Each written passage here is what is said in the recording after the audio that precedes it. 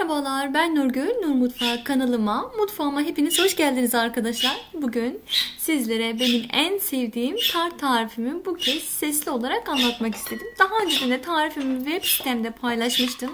Facebook sayfamda ve YouTube kanalında da daha önceden profesyonel olmayan videolarımı paylaşmıştım. Dediğim gibi bu kez daha bir detaylı bir şekilde tarifimi sizlerle paylaşmak istedim. Çok lezzetli bir tart oluyor arkadaşlar. Mayhoşumsu böyle çok lezzetli. Sizleri de denemenizi kesinlikle tavsiye ederim. Evet kirazlı tartımız için gerekli olan malzemelerimiz. Bir şişe konserve kiraz, 1,5 yemek kaşık nişasta, 2 yemek kaşık toz şeker. Kirazlı harcımız için sadece bu kadar malzeme lazım arkadaşlar.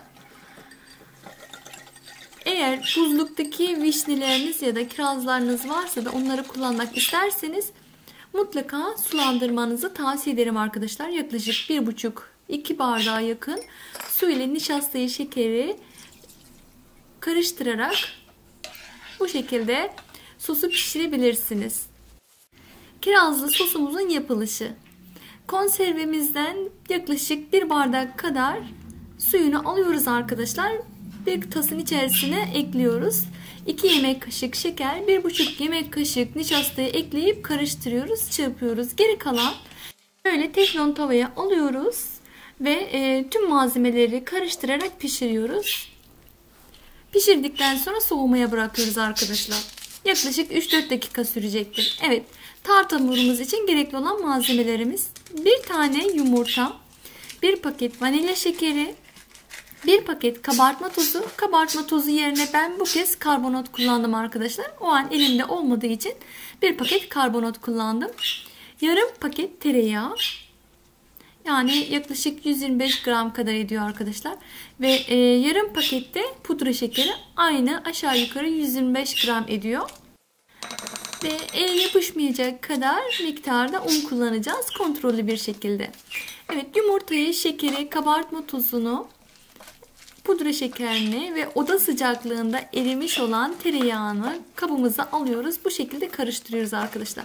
Dikkat edelim tereyağı oda sıcaklığında olsun. Katı olmasın. Çok böyle e, eritmeyin de arkadaşlar.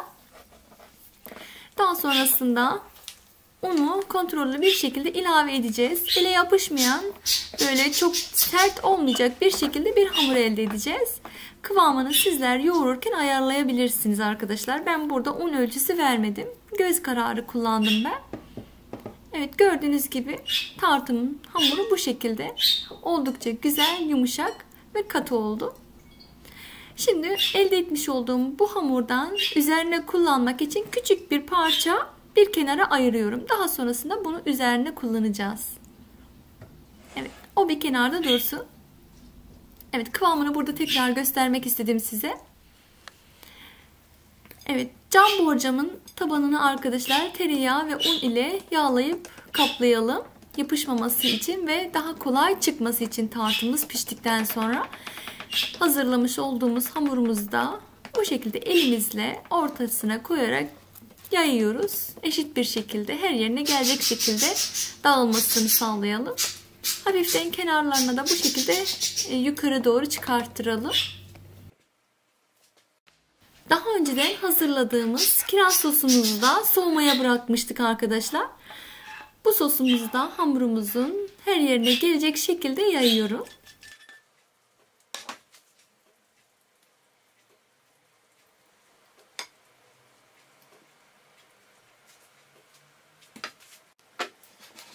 Şekilde kiraz sosumuzu da tart hamurumuzun üzerine yaydık. Evet.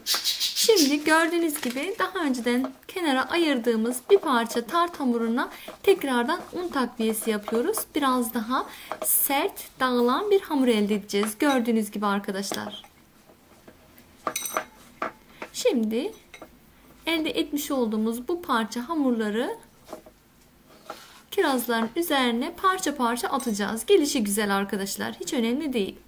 Daha sonrasında çok güzel pişecek ve görüntü olarak da çok hoş görünecek.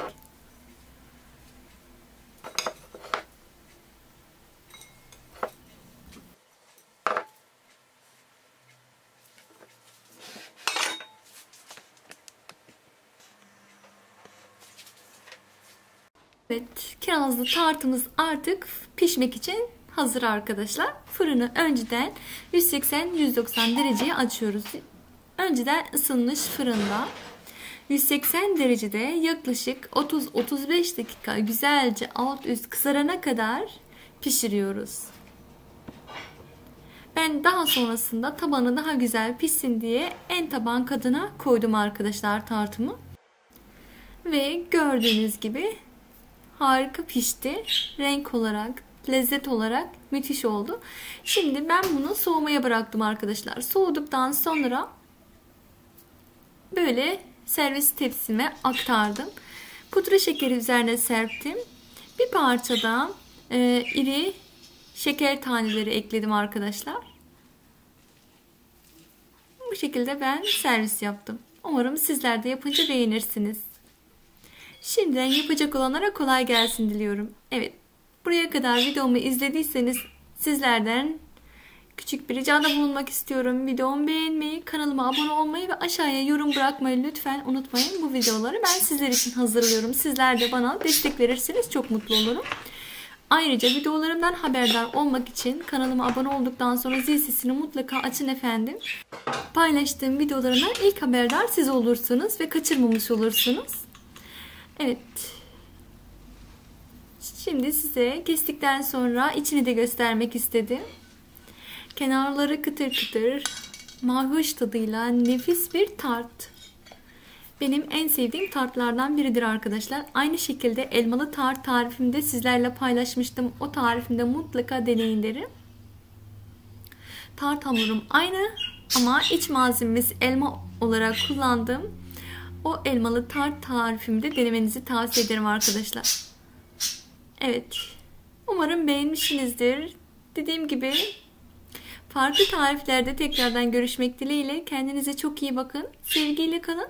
Hoşçakalın efendim.